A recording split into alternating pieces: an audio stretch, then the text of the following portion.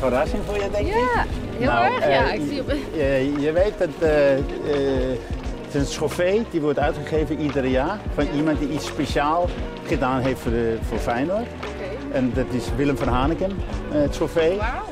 En ehm, ehm, wij, unaniem, Willem ook daarbij, heeft jou gekozen als diegene die, eh, die dat verdiend heeft voor deze jaar.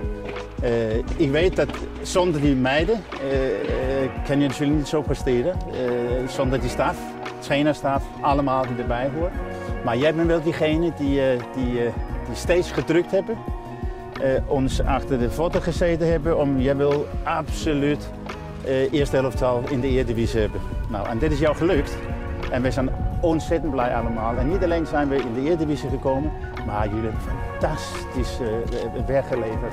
En jullie staan eh, echt eh, heel goed erop.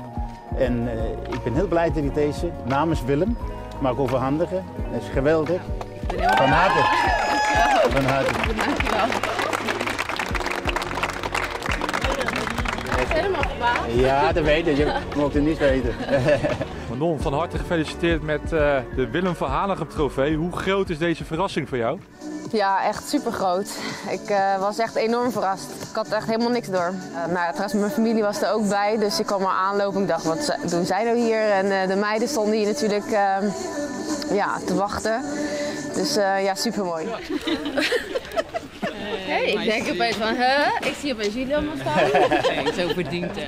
Jouw reis bij Feyenoord om je hard te maken voor het meidenvoetbal en vrouwenvoetbal, dat begon in 2017. Dat je- ja, dan krijg je nu deze Feyenoordprijs, wat je zelf aangeeft. Wat schiet er dan allemaal door je hoofd? Ja, veel natuurlijk. Eh, hoe we zijn begonnen, heel klein natuurlijk op de maatschappelijke afdeling. Ehm, en dan nu bij de Feyenoord Academy en eh, in de Eredivisie. Dat was natuurlijk ook het uiteindelijke doel.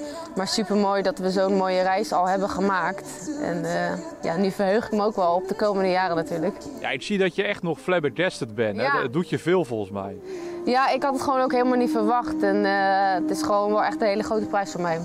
En het spreekt gewoon ook eh, heel veel waardering uit. En eh, ja, super mooi.